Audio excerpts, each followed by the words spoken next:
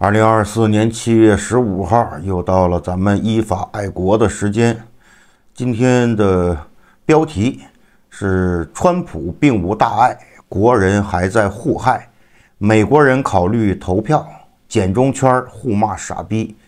你看老王的节目做了好几年了，这是第二次在录节目之前就把标题拟好了，那有点像命题作文啊。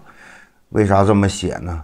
首先，昨天中国官方媒体通报的最大的新闻就是，菲律宾警方把在菲律宾绑架勒索并杀害两名华人的凶手犯罪团伙啊移交给中国警方。嗯，新闻最后的一句都是都是习惯性用语，必将得到法律的严惩。啊，无论你身在哪个国家，你都要遵守中国人民的法律。哎呀，中国政府又又给华人主持公道了。哎，这事儿老王频道的朋友都知道，乃至于啊，现在医疗器械圈子啊，以前还是用又红又专的，经过这事儿之后，基本上都在打听怎样拿一个外籍身份呢？怎样给自己的儿女、家人搞一个外籍呢？为啥呀？因为在菲律宾每个月都会有几起，嗯，不仅仅是绑架勒索啊、诈骗啊，什么都有，就是针对华人啊，或者更严谨一点说，就是在菲律宾专门从事针对中国人犯罪的犯罪团伙啊。老乡见老乡，哎，必须给你一枪，是吧？那么，这种团伙的犯罪，几乎每个月在菲律宾，嗯，马尼拉一个城市，都要发生几起。当然，有的呢是比较守规则，给钱就放人，哎，老子就是图钱。更多的呢，因为是中国人啊，拿的是中国护照啊。看到了脸啊，我我我我还得回国呢，嗯，所以呢，基本上绝大多数都是被撕票的下场。那么，嗯，为什么这事儿搞这么严重啊？菲律宾警方突然就重视起来呀？不就是因为这一次，也就是按照菲律宾警方的通报所称的。在二零二四年实施了十余起针对祖国同胞老乡犯罪的这这么多案件之中，嗯，你看别的呢？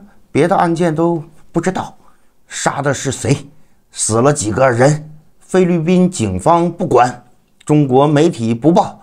中国大使馆，哎呀，当你走到了海外，还有事儿，还想去找中国大使馆帮忙，去请求自己那个啊，站在自己背后那个强大的祖国来帮忙，那老王就非常负责的告诉你，如果你遭遇的是一件小事儿，那么当你联系完了大使馆之后，那以后你的麻烦呢，不断没完。嗯，每天都有骗子给你打电话。你好，我是中国大使馆的。哎，不是东北味儿啊，是福建味儿啊。我是中国大使馆的。所以呢，从七月初，这两位在中国从事医疗器械的高管在菲律宾遇害之后，老王第一时间录视频就说了，其中有一个那是美国籍呀，你杀了一个美国人，这事儿不可能就这么过去了。啊，果然吧，啊，菲律宾警方有如神助，因为美国的 FBI 宣称，啊，无底线配合，你抓人就行了，需要什么手段我这都有，啊，那么中国大使馆干了啥呢？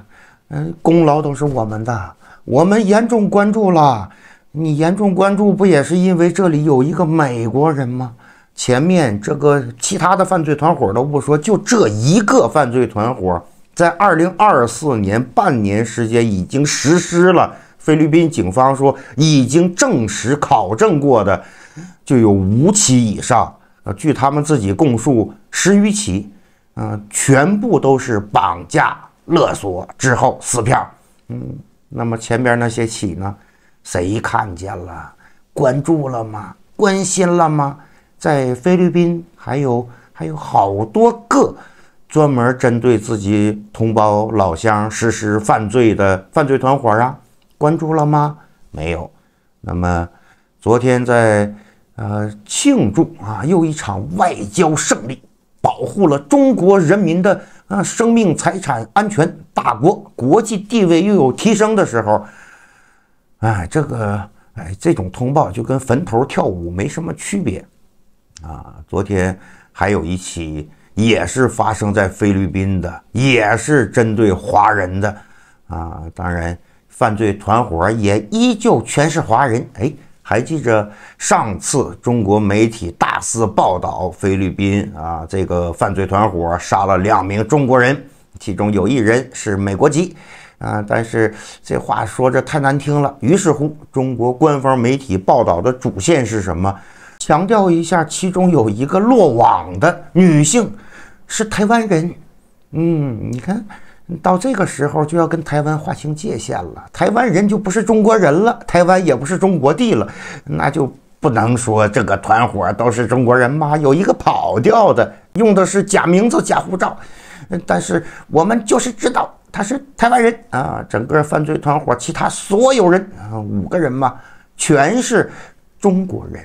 嗯，那么昨天在中国外交庆祝胜利的时候，啊，澳大利亚驻菲律宾大使馆又发了外交照会，因为又有三名中国人，嗯，据说是一家三口。在菲律宾的一个酒店里被发现了，发现的时候都死了。那么啊，据菲律宾警方透露，嗯这个犯罪团伙全是来自中国大陆的中国人，在实施完犯罪之后，现在全部啊然后离境了。据菲律宾警方的通报显示，离境的目的地第一目的地是中国香港。是吧？哎，中国会不会又说，哎呀，那都是香港人，香港人不是中国人，或者呢，人家就是通过香港转个机呗，人家还是要回到祖国母亲的怀抱啊？为啥呀？在外面挣钱儿了，哎，荣归故里，报效国家，你管这个钱怎么来的呢？那么这一次为什么又爆出来？就是因为这三名中国人之中。有一个人拿了澳大利亚的国籍，所以嘞，呦严重关切，哎，严重关切。还有呢，还有就是泰国，昨天在泰国警方的通报中，泰国所有的新闻媒体都争相报道了这一大新闻——恶性案件。嗯，在泰国某地发现了一具高度腐烂的尸体。发现了尸体之后，哎，中国警方、中国外交、中国的呃大使馆，嗯，有通报称最近最近在泰国有人报警吗？啊，这位女性的家人有什么喊冤的渠道吗？中国的媒体有什么关注吗？没有吧？都不知道吧？老王身在泰国都不知道有这么大一事儿。嗯，案情呢也。被泰国警方调查的一清二楚。三十八岁女性通过网络认识了一个长居泰国的中国人，之后奔现，来了泰国之后就被带到了某个酒店，实施了绑架，并向家人勒索五百万元人民币。据泰国警方报道，这位这位男性，嗯，中国人老乡同胞，在拿到了一百万之后。选择了撕票。通过泰国移民局、泰国警方的调查，这位男性在拿到了钱、杀了人之后，立即啊离开了泰国。第一目的地中国香港啊，应该也是转机去了。嘿，哎呀，你说说啊，老王说中国人还在祸害，是不是就？一点毛病没有，这并不是一个栽赃，只是一个很现实的形容。特别是昨天啊，当全世界人民都看到了川普遭遇枪击、遭遇暗杀的事件之后，你看看简体中文圈儿，我只说中国大陆地区、中国人圈子，哎，高潮迭起呀，一直吵到现在呀，啊，四十八小时过去了，川普都都要出院了，啊，中国人还在吵。其实呢，从今年的大选开始。川普宣布继续参选那一天那一刻，中国人简体中文圈子里就没间断过这种争吵，这种互相攻击、互相扣帽子、互相骂傻逼、互相啊互相的，你都不能说争论啊，他就是争吵骂大街，就没停过一刻都没停。所以在川普遭遇暗杀、遭遇枪击啊事件发生之后，简中媒体圈我昨天的标题是“蛆虫四溢”，嗯，各种大尾巴蛆，平时装的挺像个人的，关键时候啊，就露出了中国人那个本相。这种人就是像王志安等人一样的。走到哪里都是中国人的那种人，我说的简体中文区，形容的就是这种人。当然，你也可以说，你不也是在骂人吗？你不也是在攻击吗？是啊，你看看老王的推特，我把评论区都关了，一群人在截图骂街。啊，我的油管儿这玩意儿评论区关不了，你看看里边的那些留言。啊，哪一个是在论理？哪一个是在讲事儿？哪一个是在阐述观点？甚至这帮人张嘴就最爱说的一句：“你推特评论区都不敢开啊！你不是追求民主吗？自由吗？啊，言论自由啊！我要表达呀！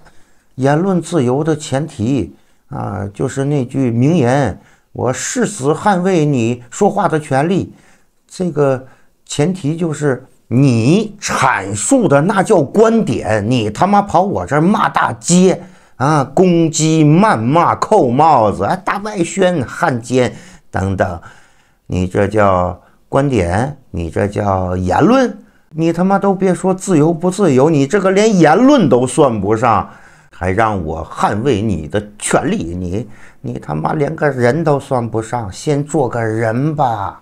嗯，这句话送给好多的老乡和同胞，是吧？啊，那么从昨天啊没干别的，除了吵架、骂街啊、互骂傻逼、断交拉黑之外，你还能干嘛？这就是中国呀，这就是中国人圈子啊，这里面不乏一些知名人士。嗯，平时呢。自由民主，美国哈，美国体制是啊，大家都呃在平时都能够说的特别的光明正大。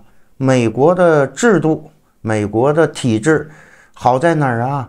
都知道，张嘴就来，它有强大的纠错能力。嗯，这并不仅仅只是美国的体制，而是全世界所有的民主体制、宪政机制。它都是好在有强大的纠错能力。你可以选一个傻逼上台，选一个疯子上台，因为这个体制、这个制度可以保证你只需要忍耐这个傻逼几年，就就下台了，他就滚蛋了。同时呢，这个制度、这个体制也可以保证你选上来的疯子不会成人为希特勒那样的狂人，啊。那样的独裁者，是吧？这才是所谓的强大的体制和强大的纠错能力呀。昨天还有，还有简体中文区留言啊，比烂啊，那个伊朗的高级官员死亡，看把你乐的美的，你不也庆祝别人的死亡吗？对呀，伊朗的体制是什么呀？那是超越集权，甚至超越独裁的神权体制，政教合一的制度。那种体制更适合黑暗的中世纪，所以这种这种独裁国家的政客，乃至这种独裁国家，老王每天都期盼着，嗯，应该发生对高级官员的枪击案啊、暗杀呀、自杀呀，都别说高级官员，中国村长、乡镇干部。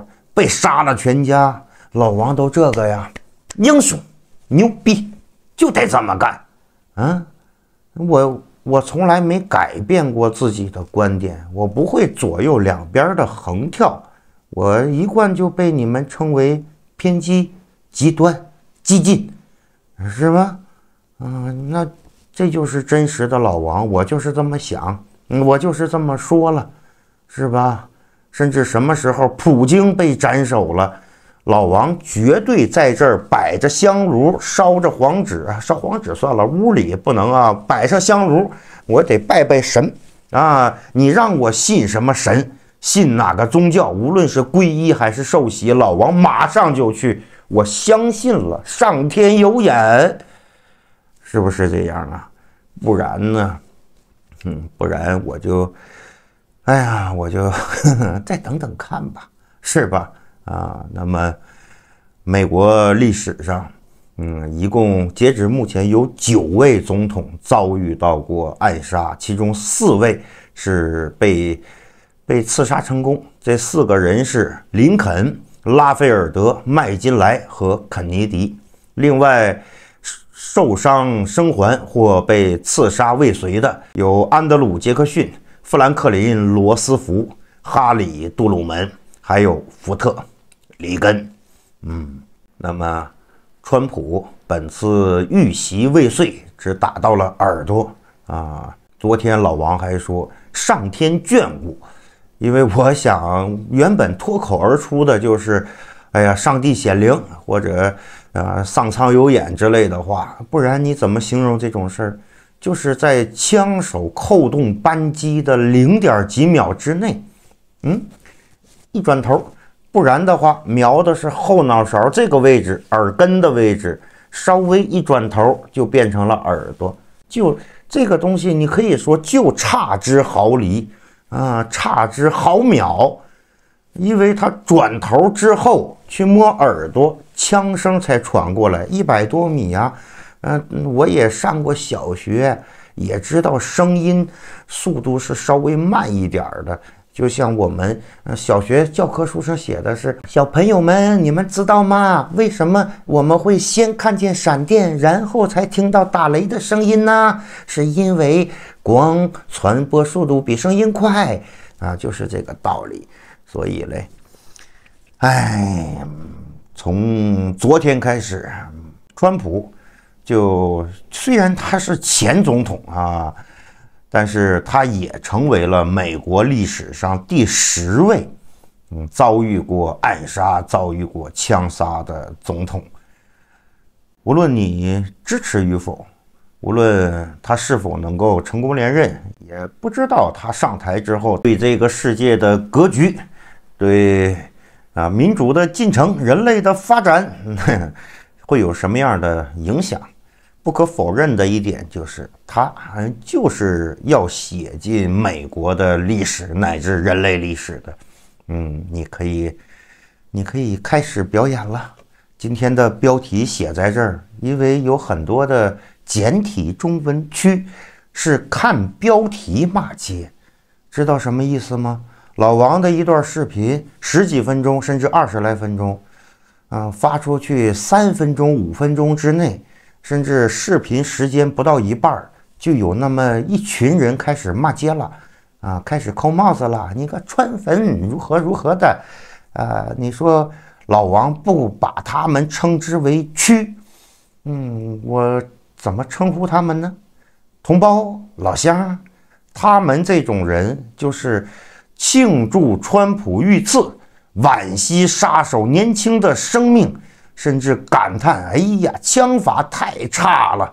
这种中国人跟庆祝日本海啸、日本地震、日本乃至其他国家灾难的中国人，他们才是真正的同胞啊！这才是所谓同胞的含义。